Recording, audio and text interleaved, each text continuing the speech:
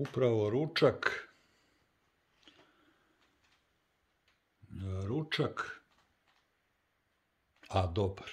Izuzetno dobar, a luka, pa brdo, brdo. Brdo luka, paprika, paprika smrt. Prijatno, prijatno bilo. Pozdrav za sve moje pratioce i vidimo se uskoro.